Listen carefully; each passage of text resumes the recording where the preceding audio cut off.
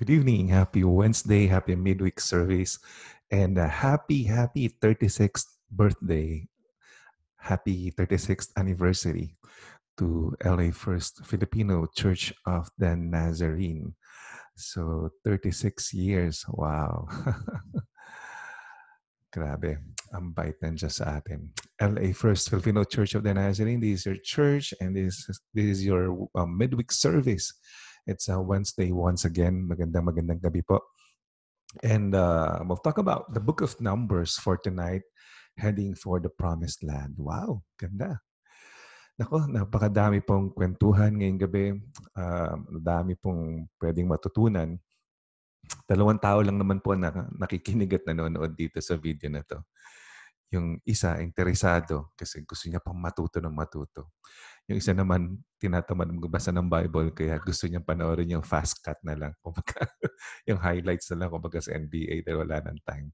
Anyway, kahit saan pa man o ano pa man yung purpose mo, uh, naniniwala po kami na magmi-minister at magmi-minister ang Panginoon So, as long as binigyan mo siya ng panahon at nanonood ka sa Kanya ngayon. Magandang gabi po. Welcome to uh, Walk Through the Bible, our 52-week series.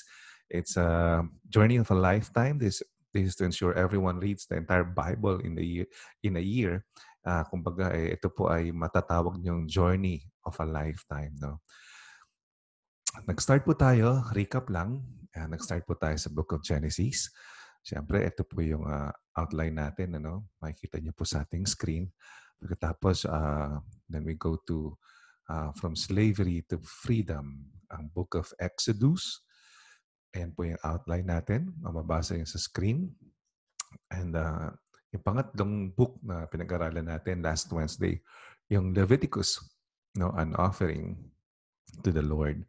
So, dito sa Leviticus, no, it pertains to the Levites, syempre. No, Levites were Israel's priest from the tribe of Levi. No? Ito, tinuro ng Leviticus yung how a fallen man can have fellowship and communion with the Holy God. Ito, natutunan natin yung sons of Jacob, ang tinatawag na tribes of Israel. Blood is an important word in this book. Jesus shed His blood, remember? So, pag na- naintindihan natin itong book na to, mas maintindihan at ma-appreciate natin why Jesus did the shedding, no? yung kanyang pag-aalay ng dugo para sa ating kaligtasan. So ang keywords sa Leviticus, fellowship and holiness. So ito yung outline ng Book of Leviticus.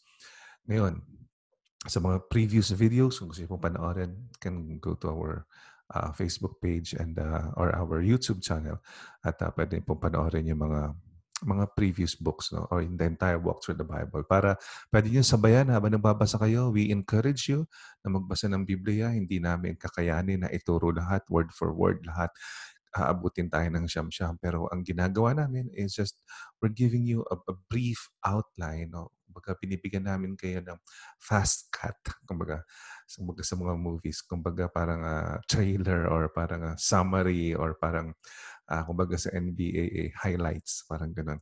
Na ano yung matatagpuan nyo sa libro ng bawat, uh, uh, sa bawat libro ng Biblia. So for tonight, we'll talk about Book of Numbers. Eh, dito makikilala nyo yung mga The Wanderers. Ayan, sino ba itong mga The Wanderers na to? Alam nyo, Numbers, yung Book of Numbers, it covers about 38 years of desert wandering. No, nasa yung two years kasi mas kilala to sa 40 years sa desert. Ano? Yung two years, yun yung prior before sila talaga na nagstay ng 38 years doon sa uh, sa desert. It is called Numbers. Bakit nga ba tinawag tong Book of Numbers, Pastor?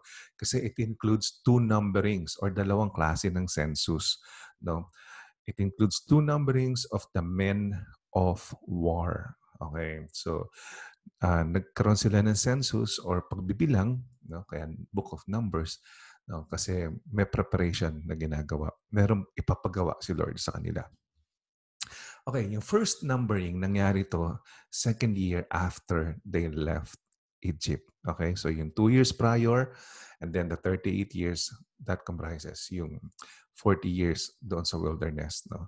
Or yung before sila pumasok sa sa promised land si Judah, yung tribe of Judah, no, leading the way, no, yung march nila papunta sa Canaan. Siyempre, kumbaga, very ano to, no? symbolic. Kasi alam naman natin si Jesus came from the tribe of Judah.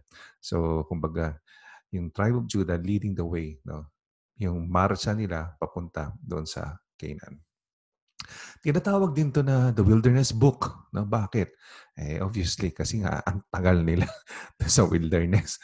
Kumbaga, ito ay tipong biyahe na uh, 40 minutes na nga abutin, inabot ka ng 40 days. Parang ganun.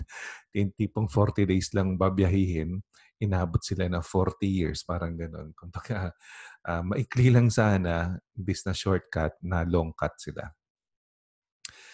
Alam niyo, uh, dito sa book na to, it describes the failure of Israel at Kadesh Barnea.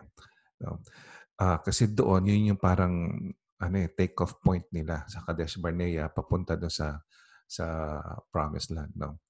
It describes the failure of Israel at Kadesh Barnea and their wilderness wanderings until the unbelieving generation died, after which the second numbering took place. So, inintay pa na maubos, mamatay lahat ng mga hindi naniniwala. Okay, yung unbelieving generation kasi nagkasala sila sa Panginoon eh. Baga, hindi sila naniwala kay Joshua at kay Caleb. Mamaya, mas pag-uusapan natin yon. So, after nung namatay itong mga to, papasok doon sa Promised Land, nagkaroon na naman ng census. Ayan, naku, uso-uso ang census ngayon. Dito sa US, nagkakaroon ng census. Ngayon, panahon ng census ngayon sa US. At uh, tinatanong lahat ng tao na nanira, naninirahan. Kumbaga, kung ikaw ay humihinga, kay may papel ka o wala, kay itim o puti, o anumang kulay mo, anumang lahi mo, anumang salita mo, kailangan sumagot ka ng census kasi binibilang para mapaghandaan, maka, makatulong sa pagpaplano in the future ng gobyerno. Kaya ngayon, panahon ng census, uh, ganun din yung ginagawa. Every 10 years yata yun dito sa Amerika. Okay. This book, itong Book of Numbers, ha, has been described, naku, as the longest funeral march in history. Bakit? Eh kasi nga, kumbaga, supposedly, ang intention ng Diyos, pagpalain sila at pumunta sila doon sa Canaan, doon sa Promised Land. Ang problema, yung generation na to, except for Joshua and Caleb, actually, included si Moses, di nakapasok eh. Kumbaga lahat yun namatay muna bago nakapasok yung new generation with Joshua and Caleb. Kasi si Joshua and Caleb lang ang naniwala doon sa, sa scouting na ginawa nila, no, sa spying. So, kaya naging longest funeral siya. Kumbaga, lakad ka na lakad for 40 years, paikot-ikot ka doon, wandering ka doon sa desert, hindi mo mapasok-pasok yung destination mo. Supposedly, ang pagbabiyahin naman, madali naman, alam naman natin eh. Di ba? Kung magta-drive ka, pindutin mo yung ways, sasabihin yung point A to point B. Sila, from point A, ikot-ikot, ikot-ikot, ikot, ang tagal. Parang funeral march. And then eventually, hindi rin pala sila makapasok. They all died Hinintay na mamatay silang lahat. Kaya longest funeral march in history. Okay. Interesting fact, no? Kumbaga, ito medyo interesting to. Alam nyo, Israel did not grow during its wilderness wanderings. No? Hindi sila dumami. No? Unique, no? At uh, isa pa, fun fact naman. Alam niyo ba na hindi nasira yung mga damit nila tsaka sapatos or sinelas o sapin sa paa. No? Kasi protection sila ng Panginoon. At uh, alam nyo ba na uh, daig pa nila yung ayuda ng uh, gobyerno. No, pinabagsakan sila ng pagkain, yung mana, yung bread from heaven. Nako, ganun nag-provide ang Diyos sa kanila. Alam nyo, instead, ano, hindi na sila lumago. They declined in number by 2,000 men of war. Paano nila nalaman? Kasi nga, nag-numbering sila, nag-census sila. Ay nako, they wasted 38 years, imagine, no? Suffered unnecessary afflictions and did not grow numerically. Uy, medyo familiar pa ta sa buhay pa natin to. Di ba? Alam niyo, this is what unbelief does to the Christians. Ito yung nangyayari kapag hindi tayo naniwala. It produces wasted time, wasted effort, and spiritual stalemate. O hindi lang sa chess may stalemate pati spiritually. Alam nyo, sabi ng Diyos, punta ka dito o punta ka sa kabila. Sabi ng Diyos, gawin mo to o gagawin mo yung isa. Sabi ng Diyos, siya ang pinili ko sa iyo, pinili mo yung isa. Sabi ng Diyos, ito ang kainin mo, kinain mo yung iba. Ang sabi ng Diyos, itong bilhin mo, binili mo yung iba. Kapag suway tayo ng suway sa Diyos, nako, spiritual stalemate, wasted effort, and it will produce wasted time. So sayang.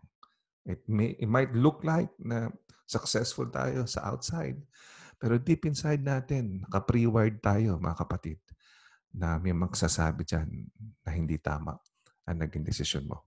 Now, let's look at the brief outline of the book. So, four parts din siya. Una, yung preparation sila, syempre, for the wilderness. Kailangan pa pala ng preparation. Eh, wilderness lang naman ang pupuntahan. Ang wilderness, mga kapatid, dinadaanan lang. Hindi tayo dapat nag stay doon. Amen? Ito mga kapatid nating Israelites, eh, mas pinili nila dahil sa takot. No? Dahil sa takot, hindi na sila umalis doon sa wilderness. Kumbaga, parang halimbawa, pupunta natin sa ano, sa mga bawat lugar, hindi tayo pwedeng, dapat mag-iingat tayo kasi may pandemic, may COVID-19, pero babalansin din natin. Hindi tayo pwedeng mabuhay ng, sa takot araw-araw. Kumbaga, safe ako, pero kumbaga magte-take risk ako in a sense na hindi ako pwedeng balutin ng takot yung buhay ko. So, dapat may balanse. Okay? Hindi ko sinasabi maging careless tayo. Dapat maging sigurado, maging safe, gawin lahat ng mga sinasabi na dapat na requirements, and then, go for it. Kumbaga, take the risk. No? Pag sinabi, lalo na pag sinabi ng Diyos, go for it, and then go for it. So yun, una, preparation nila for the wilderness. And then number two, yung wanderings na nila. Yan, ibig sabihin, eh, ano, papetik-petik. Okay. Number three, part three na makikita doon sa Book of Numbers. Ito yung the Balaam incident. Nako, narinig niyo na ba yung kasabihan natin mga Pilipino na, nako, ay huwag ka maniniwala dyan. Ay, propetang Balaam yan. Okay, pag mamalala, makikilala niyo mamaya si Balaam kung sino yan.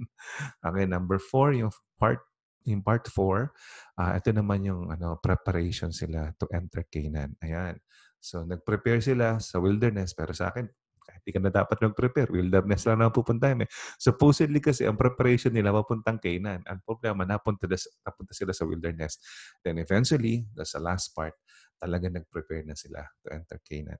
Alright. Ang matututunan natin dito ha, tandaan nyo, tatlong W lang para hindi, na, hindi kayo ma, malito. Itong book na to, itong lesson na to, itong teaching na to, it's all about waiting, wondering, and walking. Okay? Wondering, actually letter A yan eh. Wondering, hindi W, hindi O. Sorry, wrong spelling. Pwede, pero pwede rin. Oh, I wonder why. Ba't ako nandito? Parang gano'n. Anyway, so 3 W's ang ma- ma- maaalala nyo dito. Naghintay sila, waiting, wondering, pagala-gala. O sige, wow na rin. Parang wow, ano nangyari. Or walking, paikot-ikot, palakad-lakad. Ayan, dami nilang walking exercise.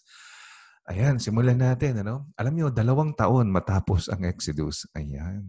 Para namang uh, Korean novela itong pinag-uusapan natin. Two years after Exodus, ano, ano, gusto nyo malaman yung nangyari sa Exodus, balikan nyo lang yung last video.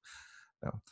And uh, the events in this book, alam nyo, begin one month after the completion of the tabernacle and two years after Exodus. So naalala niyo yung tabernacle?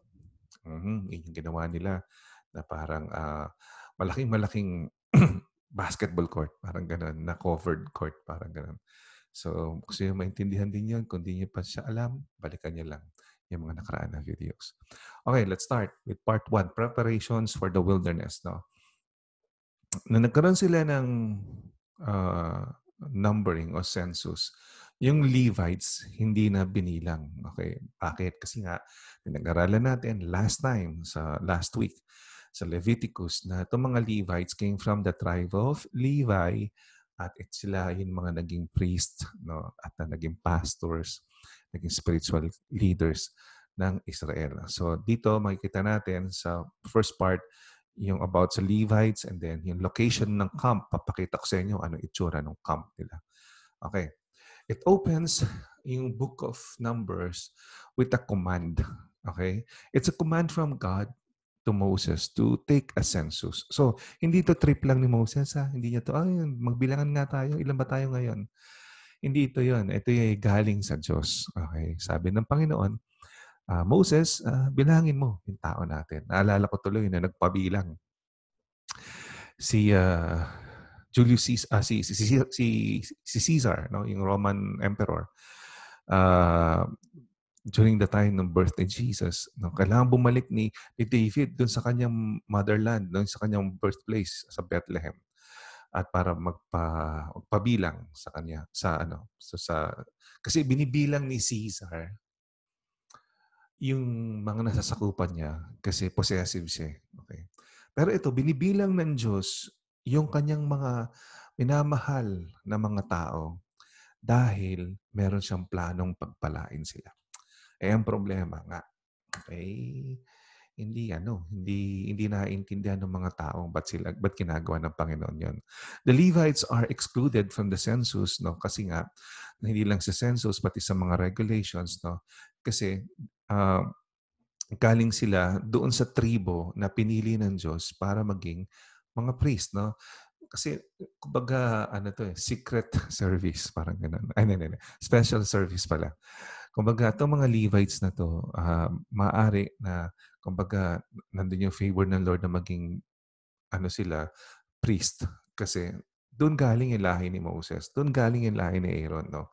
At hindi lang yan, maaring kasi, maaring may, may rason din yung kanilang pag-take ng stand doon sa golden calf, doon sa Exodus. Yan. Kung gusto yung malaman yung story doon, balikan niyo lang. Yung, di, balikan niyo yung libro niyo. subukan yung buksan at uh, basahin. Ako, napakaganda nun. Binigay yung Ten Commandments. Nako, nainip yung mga Israelites kumuha ng golden calf. Alamin niyo kung ano yung story na yun. Chapters 2 and 3. Okay, matatagpuan niyo dito yung location of the tribes in the camp. Ayan. So, mapansin niyo, uh, yung location ng tribe, mapapansin niyo sa north, oh, nandyan, nandyan yung Dan, Asher, Zebulun, Naphtali, di ba, sa west, and then so on. Tapos, uh, doon sa, sa, sa napapalibutan sila no uh, north, east, south, west ng mga tribes, okay? Pero kung papansin niyo, merong mga ibang pangalan, ano? Sino to mga to? Yung Gershonites, Merarites, Moses, Aaron, priests, Kohathites. Okay. So nakapalibot din sa tabernacle.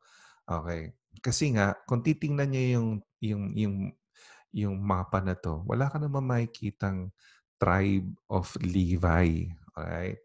So, uh, ang mapapansin niyo, merong Manase, no? merong uh, merong uh, Ephraim. Ito yung dalawang anak ni Joseph. Na imbes na tribe of Joseph, no, naging tribe of Manasseh and Ephraim. Kaya 12 pa rin kasi tinanggal si Levi pero dalawa naman yung pumalit kay Joseph. So 12 pa rin, 12 tribes pa rin. Pero ang tanong, Pastor, sino yung apat na yun? Yung Gershonites, Kohathites, Merarites, Moses, Aaron, priest. So kilala na natin si Moses at si Aaron. Okay, who are the Kohathites, Gershonites, and Merarites? Tingnan natin no? sa Numbers 3.17.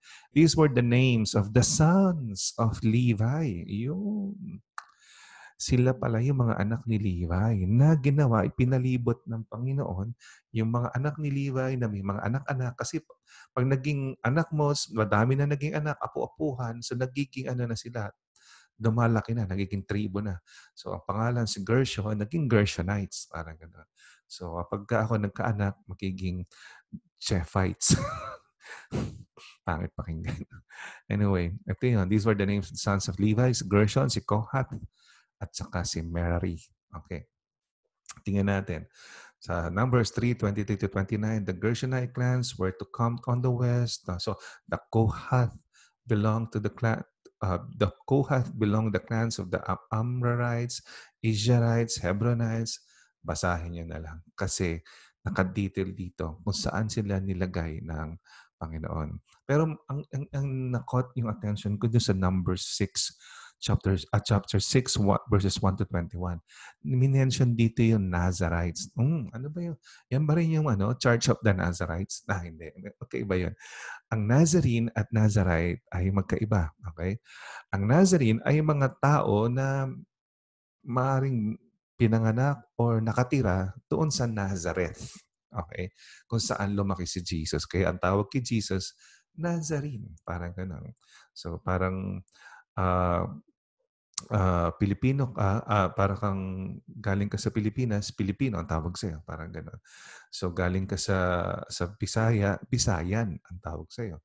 Galing ka sa, Iloca, sa Ilocos, Ilocano ang tawag sa'yo. So yung Nazarene, galing sa Nazareth, kaya Nazarene ang tawag. Okay? So, eh ba't kayo tinawag na Church of the Nazarene? Eh kasi nga, naniniwala yung aming church na uh, yung mga taga-Nazarene ay uh, kumbaga hindi naman, kumbaga parang ano to eh, parang uh, tondo, no? Parang gano'n. Meron, kasi sabi sa Bible, may mabait pang galing sa Nazarene, ah, Nazareth. So, kumbaga, kumbaga hindi naman ano, kumbaga parang uh, pugad to ng ano. O doon tondo ngayon, hindi na. Maganda na dahil kay Yorme.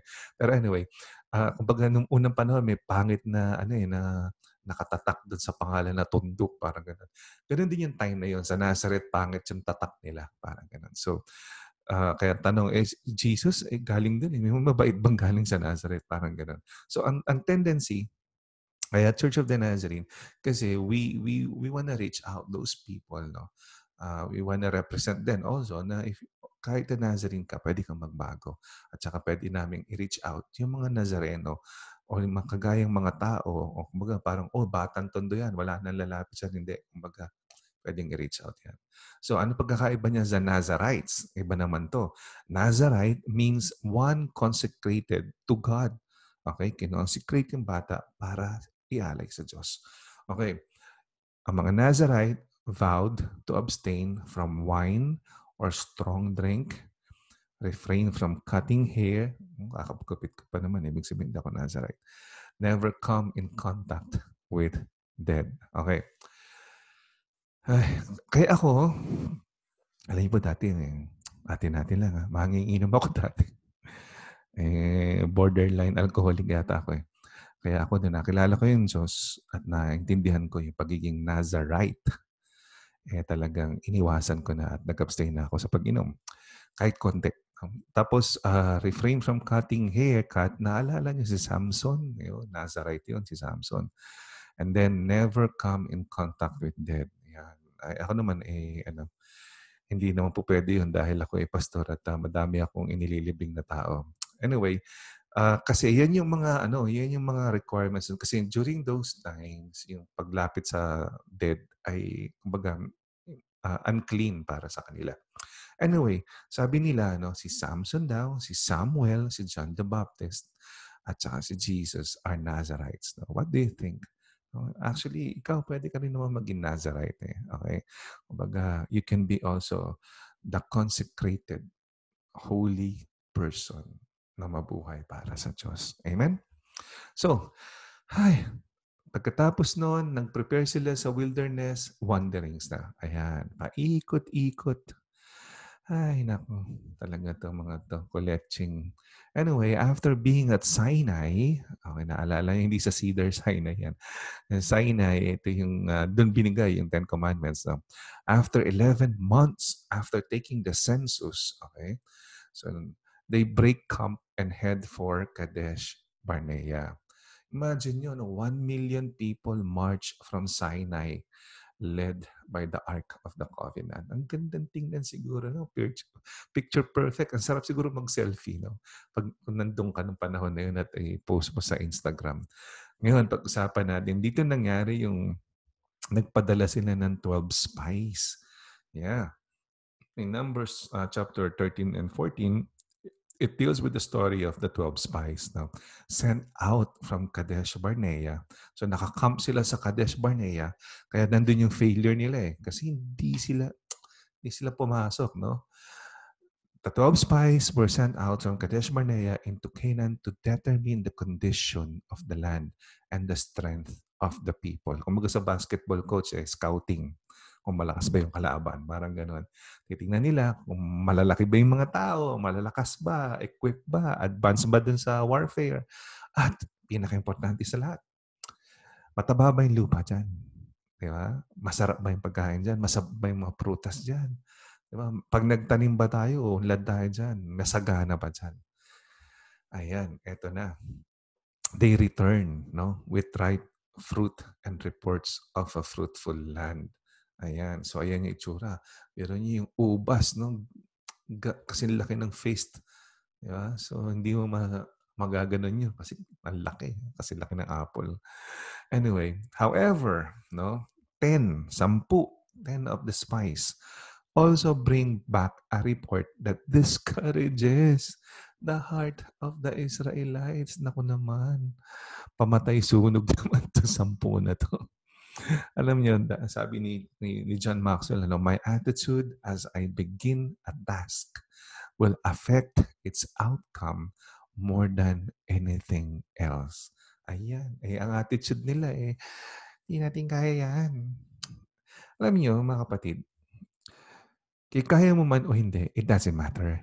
What matters most is sinabi ng Diyos, go. Pag sinabi ng Diyos, sa mata mo, malaki.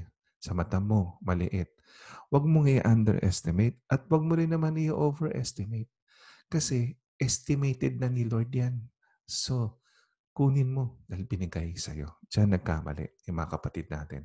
Ang sabi ni Joshua and Caleb, Ako, we saw the fruit in the land, Moses. Mga kapatid, let's go. Sabi ng other spies, Naku, puro problema doon. Huwag tayong pumunta. Sabi ni Joshua and Caleb, Oh, we saw themselves, uh, we, we, we can see ourselves in God's hands. why don't we see ourselves in God's hands? Diba? Eh, siya nagbigay nito, siya nag-promise nito, eh di siya ang gagawa ng paraan para makapunta tayo noon. Ang sabi ng sampung spies, ako, ang liliit natin. We're just small and weak compared to these giants. And then, in-encourage sila ni Joshua and Caleb to step out in faith. Ay, kung giant yan, eh di sige. No, kumbaga, uh, ipakita natin yung pananampalataya natin sa Panginoon. At ang mga sampu naman to, they prevented the people no, to progress. At sabi naman ni Joshua ni Caleb, let's be optimistic about the future. Ito kasi yung binibigay ng Panginoon. Sabi naman ng sampu, let's just be pessimistic about the future kasi at least dito safe tayo. Ayan. Ano nangyari? O, di silang dalawa lang nakapasok. In Numbers 14.10, no, sabi doon, while the whole community no, threatened, imagine, to stone them, the glory of the Lord appeared to all the Israel, Israelites at the tent of meeting. Alam niyo, dahil maganda yung positive, kasi pinipilit sila ni Joshua at ni Caleb, come on, let's go, let's go, let's go, let's go. Alam niyo, lahat ng tao, threatened si Joshua at si Caleb na stoned to death. Dahil ayaw nila, takot sila. Oh my goodness. Sa totoo lang, oh, nakakalungkot. Nangyayari pa rin yan eh. Hanggang ngayon, di ba? May mga tao pa rin na, madaming tao pa rin na ayaw maniwala sa Diyos. Alam mo, this desire of the people so angers God. No? Na, na, naku, nainis si Lord. He would have destroyed the people had it not been, had it not been No? Sa, kay, sa, eh, kay Moses sa kanyang intercession. Bakit? No? Kasi binigyan pa rin ng favor ng Diyos yung panalangin ni Moses na huwag silang puksain.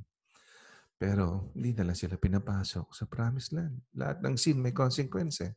Talking about the power of prayer. Imagine nyo, no? si, si Moses nag-intercede for these people.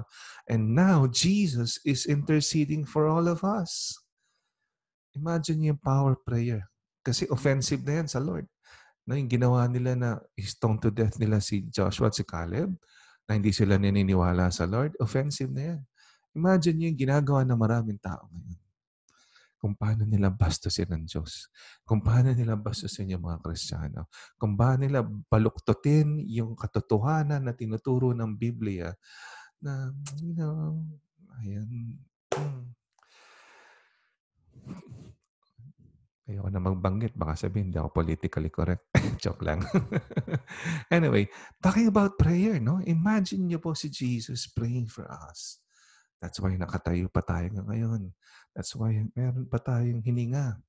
That's why binibigyan pa tayo ng pagkakataon, oportunidad para lumapit sa Panginoon at magbago, humingi ng tawad para tayo maligtas. Alam niyo, though God pardons them, the people are forbidden to enter the promised land. okay. God forgave them. pero sila pinapasok. Except for Caleb, Joshua, and the new generation no, were allowed to enter. Ayun. Ngayon, anong sumunod naman doon? No? Sa nangyari sa 12, sa 12 spies, may insidente na naman. Nako, maganda rin tong incident to eh. Kasi it's all about complainings and poisonous serpents. Iyo, alam niyo po, isang bagay na takot na takot ako, eh, ahas. Nako, talagang tatakbo ko kahit ka, gaano kaliit yan. Chap, uh, Numbers chapter 16, 1 to 3. Dito, alam niyo, may drama na naman nangyari. Oh, chichika ko sa inyo kung ano nangyari ha. Many leaders in the other tribes come to Moses. Complaining ba naman na ang priesthood daw should be opened to other tribes besides Aaron and his sons. Ayan, nangelam na naman eh. Hindi naman hindi hindi naman sila si Lord eh, no? Hilig mangelam, no? Na minsan eh alam niyo, may mga role ang mga bawat isa sa atin. Ang Diyos, Hayaan niyo siyang maging Diyos. Eh, Diyos siya eh. Di ba? Huwag niyong pakialaman. Eh, engineer, hayaan niyo maging engineer. Eh, engineer yan eh. Yung doktor, huwag niyong pakialaman. Huwag kayong mag-self-medicate. Doktor yan eh, sinabi sa inyo. Yung lawyer, huwag niyong pakialaman. Trabaho niya yun eh. Galang natin. Yung pastor, huwag niyong pakialaman. Huwag niyong baguhin yung teaching. I mean, Eto, nangingialam 'tong mga 'to. Kasi gusto rin nila maging priest. Gusto rin nila maging, ah, kumbaga Levitical pastors, parang gano'n, 'no? Iba kasi yung tinawag sa nagpapatawag. Tandaan niyo kapagka may pastor na nagsabi na, "Alam mo, tinawag ako na nandito, ganito, ganyan, ganyan, ganyan." Ano, kumbaga at siguradong sigurado no na kumbaga parang uh, ina-assume na yung posisyon ano. Kumbaga intindihin natin ang panawagan ang isang magandang guiding principle diyan para nangyari kay David eh. Kumbaga hinintay niya hinintay niya yung anointing ng Panginoon. Okay? Ang approval galing sa Lord hindi sa tao. At hindi ko magsasabi na tinawag sa isang lugar hayaan mo ang witnessing ng tao witnessing ng mga nakataas sa iyo at importante yung go signal ng Diyos Okay? So therefore, God gives them an unquestionable sign. No? Aaron and his sons are his choice no, for the priesthood. So ang ginawa ng Panginoon, sige, bibigyan kayo ng matlupit na sinyales, ha? Para si Aaron, ang uh, malaman niya na siya ang aking, itong mga Levites ang aking mga napili. Okay. Ano yung sign na yun? Tingnan natin sa Numbers chapter 17 to 10. Uh, 7, chapter 17 verse 10.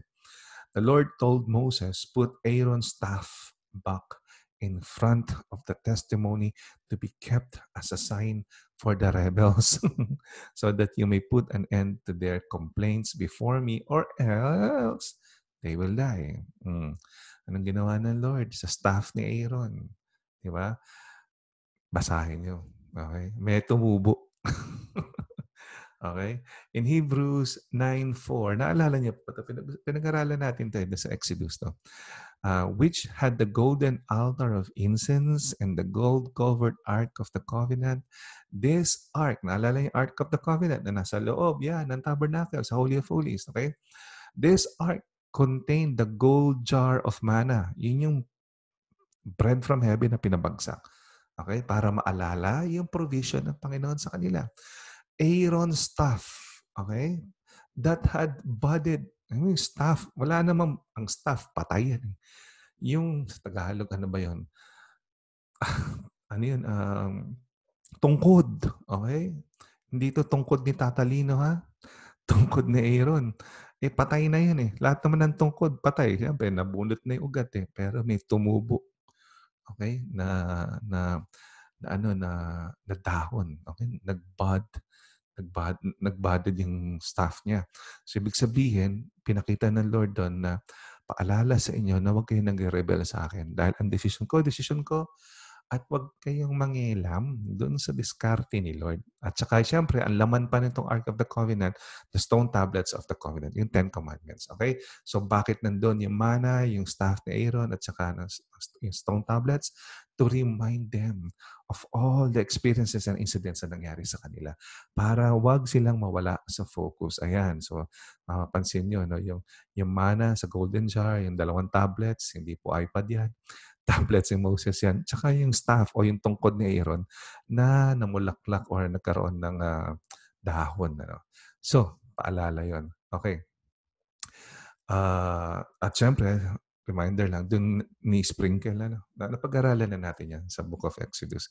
Yung dun ni-sprinkle yung blood for the Day of Atonement. Anyway, ano pa yung nangyari? Ito pa, may isa pang insidente tungkol sa bronze serpent. Oh, ano nangyari? Okay. So, sabi nga natin, itong part na to, all about their complaining. So, sinagot ng Lord, rebelde kayo, marmaring, marmaring kayo. Sige, pakita ko sa inyo na hindi kayong pinili ko si Aaron. See, meron nangyari pa, bronze serpent. In chapters 20 to 21, it, it deals with the serpents, no? Ano nangyari? May dalawang scenes kasi ang Israel during those times. Una, they have spoken against God. Okay? At hindi lang yon, they spoken against Moses. So, therefore, God sends poisonous serpents and many people died. Dami namatay. Diba? Tingnan. Numbers 21, 8 to 9. The Lord, then the Lord said to Moses, Make a snake image and mount it on a pole. When anyone who is bitten looks at it, no, he will recover. So Moses made a bronze snake and mounted it on a pole. No? Ito yung Ayan. Okay? Uh, so Moses made the bronze snake and mounted on a pole. Whenever someone was beaten and he looked at the bronze uh, at the bronze snake, he recovered. Ayan. Kaya nga madalas nakikita natin to sa mga doktor, sa mga ospital, sa mga nameplate ng doktor, merong merong parang pole, tapos may serpent na nakapalibot. So, biblically yun. Doon nila nakuha yung emblem na yun. Ayan, alam mo na, may bago kang kaalaman. Okay? So, each person is saved only by repentance and faith. Pag nag-repent sila, naniwala sila sa Panginoon, doon sa pole na yon, kita nila yung ahas na nakapalibot. Kung natuklaw man sila na ahas, no, they will just express by looking upward toward the serpent. Hmm, familiar ba, mga kapatid? Yep, New Testament. Punta tayo. How is the bronze serpent type of Christ. Meron din. Sabi sa John 3, 14 to 15, just as Moses lifted up the snake in the wilderness, so must the Son of Man be lifted up so that everyone who believes in Him will have eternal life. Wow! Yun, physical yun yung kay Moses. O, natuklaw ng ahas kasi kulit nyo eh. Angal kayo ng angal eh. Tuklaw ng ahas yung mga Israelites sa wilderness. O sige, way out sabi ng Diyos, gagawa tayo. Consequence yung sin eh. Tuklaw kayo na ahas, gagawa tayo ng paraan para maggamot kayo. Just look at the pole na merong uh, bronze serpent. Ngayon, sino yung bronze serpent? No? Sabi nga sa John, kagaya kay Moses, di ba? Sa wilderness, the Son of Man will be lifted up. So, doon sa Paul, di ba? Nasa krus ng Kalbaryo ang Panginoon. So that everyone who believes in Him, naniwala tayo sa Kanya, magkakaroon ng eternal life. Talagang salvation. Hindi ka mamamatay. Amen? Part 3, Balaam. Balaam incident. Ayan. Ay, nako. Ay, ito eh, si Balaam eh. Ito yung madalas na kinukwento ng mga matatanda. Ay, huwag ka maniniwala sa propetang Balaam na yan. Okay. Tingnan natin. No? Balaam, the son of Beor, was the Pethor in Mesopotamia. Okay? Hindi siya Hudyo. He was a very influential sorcerer, although aware of the true God, made his services available on a freelance basis. Oh, freelancer pa. Near the end of their wilderness journey, as the Israelites under Moses, Aaron had died shortly before, were advancing north into Moab just prior to their turning west to cross the Jordan River, King Balak of Moab hired Balaam to perform the impossible task of stopping them. Ayan. So yung si King Balak ng Moab, ng mga Moabites, na pinsan din ng mga Hudyo, no? Kasi ang mga Moabites, galing naman yan kay Lot. Okay? Mahabang story yan. Anyway, while the Israelites approaching, King Balak sent messengers to Balaam to get him to put a curse on the Israelites. The Lord, however, appeared to Balaam and warn him not to do it. Ayun. King Balak then sent other messengers to Balaam with an, an offer of great riches. Na. If he would curse the Israelites. This time the Lord allowed Balaam to go with, the, with them to Moab, but on the condition that he do only what the Lord told him. Then came the famous incident with Balaam's dong, talking donkey on the journey to Moab. Now, centuries later, actually si Peter no, referred to that incident. Mapansin niyo sa 2 Peter yan. Now, when Balaam arrived in Moab, King Balak greeted him, but Balaam warned the king that he could only say what God allowed him. King Balak's strategy was about to backfire. Okay, in short, no, paikliin natin. Si King Balak, galit siya sa mga Israelites. Ano bang bago? Lahat naman nata ng tao sa mundo galit sa Israel. Ano? Eh, si King Balak na Moabite, ayaw niya ipa-advance itong mga Israelites. Hinayar niya itong si Balaam, no, si Prophet Balaam, para i-curse itong Israelites. Ang problema, si Balaam nakinig sa Diyos. Sabi ni Balaam, eh, sasabihin ko lang kung ano sinabi ni Lord. Balaam's oracles then followed all of which blessed the Israelites instead of cursing them. By the time that he was done, the Holy Spirit had, had caused Balaam to speak a rich blessing upon Israel. Ayun. Eh, nag-backfire yung plano ni King Balak. Mali yung balak niya. ano ba ibig sabihin ng oracle, Pastor? Okay, a priest or priestess acting as a medium through whom advice or prophecy was sought from the gods in classical antiquity. Kaya na umintindi. Yun yun. Yun yung ginawa, ni pinerform ni, ni, ni Balaam. Doon, nag-oracle siya doon sa Israelites. Imbis na sundin niya si King Balak na may masamang balak sa Israel. Ayun. Eh, baka nakainom. Pag may alak, may King Balak. Joke lang. Ayun. Uh, na, na, na, nangyari, imbis na i-curse niya yung Israel, eh, binless niya. Ayun. Yun lang. Eh, to si, ano, si Bala, Balaam, eh, may sablay din sa buhay. Okay, despite that he should by then have known better, although he could not directly curse the Israelites, Balaam still advised King Balak how to tempt the Israelites into disobeying God. Ayan. Balaam was killed in a, lat, in a later, later battle between Israelites and the uh, Moabites. Okay.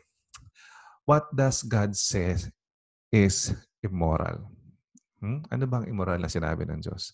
Nevertheless, Revelations 2.14, I have few things against you. There are some among you who hold to the teaching of Balaam. Hmm? Binanggit si Balaam, no? Who thought Balak to entice the Israelites to sin so that they ate food sacrificed to idols and committed sexual immorality. Ayan si Balak at si Balam. Balaam eh, Balam sa English, Balaam sa atin. Eh, sablay, okay? They are a picture of immorality. So, pero to si Balaam compared kay Balak, mabait, naging masama. Diba? Ganda kasi. Doon na tayo sa righteousness, di ba? Alam niyo, very few, few people in the Bible are as confusing and contradicting as Balaam. Hindi lang po sa Bible hanggang sa ngayon, no, madami sa atin na bipolar yata. Eh, no? Minsan, ang bait natin kay Lord, pag nasimbahan tayo, ang bait natin. Eh. Pagka wala tayo simbahan, eh, hindi na tayo mabait. He is apparently of a pagan nation, yet God seems to use him as a prophet. Yun lang, sumablay din siya. He is faithful to the Lord's command by refusing under the under pressure of Balak, pero no, uh, uh, siyempre si Balak, yung king of Moabites, to curse the nation. Instead, he blesses Israel. Yun lang. However, he gives counsel to Israel mismo that results in abominations and idolatry and sexual immorality. So Balaam or Balaam perishes in the judgment of the Moabites. Ayun, ang storya. Eh pag sinabing, ah, wag ka maniniwala sa propetang Balaam na yan o Balaam na yan, ibig sabihin nun eh, ibig sabihin, wala kang integrity. hindi, ka dapat paniwala ang tao. Anyway, part 4 as we end, preparations to enter Canaan. Ayan, oh. papasok na ang Joshua generation. Amen. After 38 years, the delay is finally now over. The old generation who refused to enter the land are gone. Patay na silang lahat except for Caleb and Joshua. A new generation has, re- has arisen to so the fighting men are numbered again. Nagbilang na ulit. Census na naman, siyempre. Kaya nga ako eh.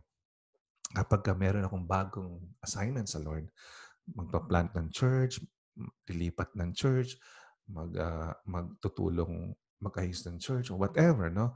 Ang lagi kong ginagawa, no? Ang first step ko palagi, I always count my allies in my new assignment.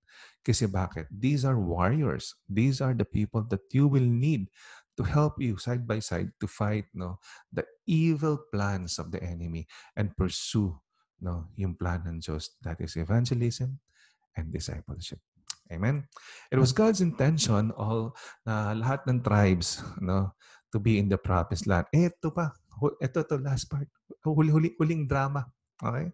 Damang dami kasing drama king and queen dito sa Israel eh.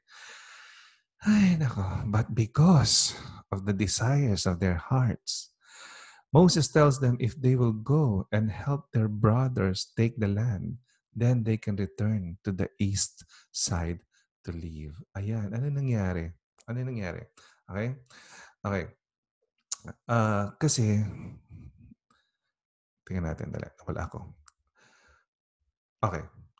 In Numbers 32, no, chapter 32, verses 20 to 23, sabi dito, Moses replied to them, If you do this, if you arm yourselves for battle before the Lord, and every one of your armed men crosses the Jordan before the Lord until he has driven his enemies from his presence, and the land is subdued before the Lord, afterward you may return and be free from obligation to the Lord and to Israel. And this land will belong to you as a possession before the Lord. But if you don't do this, okay? Pakinggan natin mabuti. You will certainly you will certainly no sin against the Lord. Be sure, sabi ni Moses, be sure your sin will catch up with you. Sino tinutukoy niya, Pastor? Ito yung mga Reubenites, yung, yung mga Gadites, yung mga descendant ni Reuben sa ni Gad. Yung tribe of Reuben, ta- tribe of Gad, tsaka yung half tribe ni Manasseh, ang trip nila, gusto nilang iwanan sa area yung sampung tribe. Sabi nila, ah, Moses, pwede bang ano, uh, pwede bang uh, ano na lang, yung yung sampung tribes na lang ang lumaban. At kami magkakamp na lang dito sa East Jordan at uh, ayun, uh, labas na kami dyan. Eh, sabi ni Moses, nako, eh, make sure, okay, your sin will catch up with you. God offers them His best, right?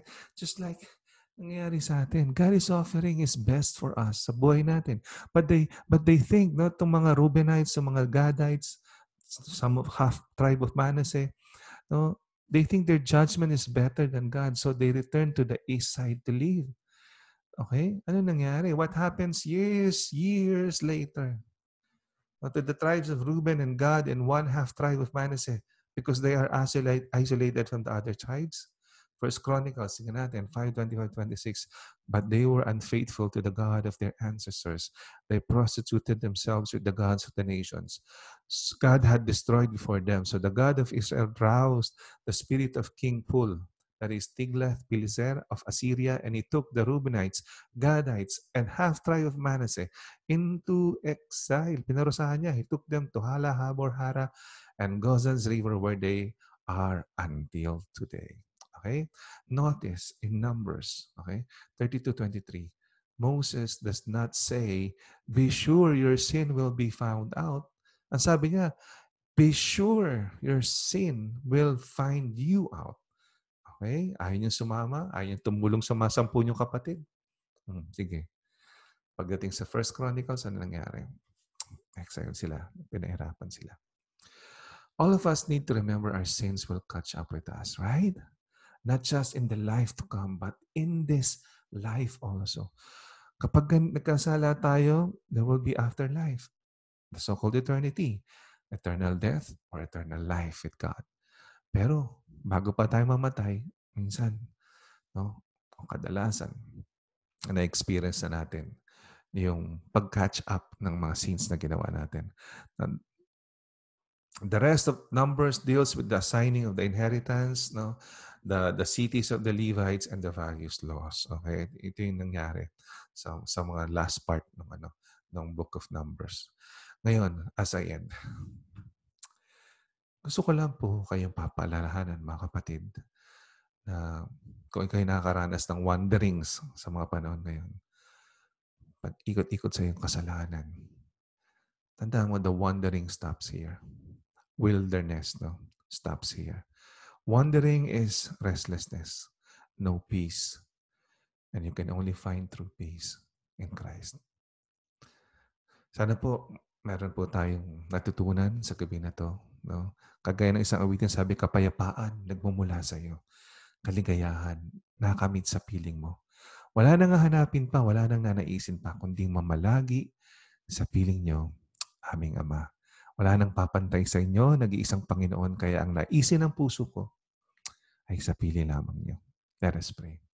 Heavenly Father, thank you, Lord God, for all the things that we learned from the Israelites.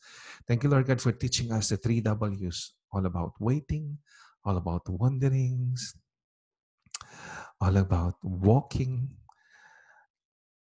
because of sins, Lord God. Wasted time, wasted effort, not following you. Teach us to be obedient, Lord God. May we learn from their experiences for us not to do it anymore in our lives. Lord God, thank you for interceding for us, for our sins. Lord God, we believe that we are sinners, Lord. We believe that you died upon the cross for, for, for us, Lord God, that you shed your blood for us, Lord God, for the forgiveness of our sins. And we believe that on the third day, Lord God, you rose from the dead and went to heaven to prepare a place for us. We accept you now, Lord, as our Savior, as our Lord, as our God, as our Master, as our friend, as our Father. Come into our hearts and set us free from our sins, Lord. Cleanse us with your blood. And because you are our Savior, we can say that we shall not die, but have everlasting life. Thank you, Lord Jesus. In Jesus' name, amen and amen. The Lord bless you and keep you. The Lord make his face shine upon you and be gracious to you. The Lord turn his face toward you and give you peace. In the name of the Father and of the Son and of the Holy Spirit. Amen and amen. You are blessed.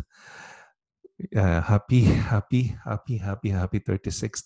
Today, September 30, Wednesday, is the 36th year anniversary of anniversary of LA First Filipino Church of the Nazarene, 1 in 3rd in Vermont in Los Angeles. Please come and visit us. We will be opening soon, hopefully on Sunday and uh, we're just polishing some things and uh, we will announce it as soon as possible and uh, we will have also an installation service on october 11 5 p.m in the afternoon our service usually starts 9 a.m to 11 but in the morning but on October 11, it's a special Sunday. It will be moved on the 5 p.m. because uh, we will have our district superintendent with us and uh, we'll have an installation service or ceremony or passing of the staff from one pastor to another.